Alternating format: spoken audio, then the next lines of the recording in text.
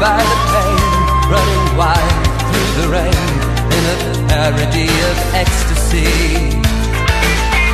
I was inches from the edge, fingers clinging to the ledge again. I never thought I'd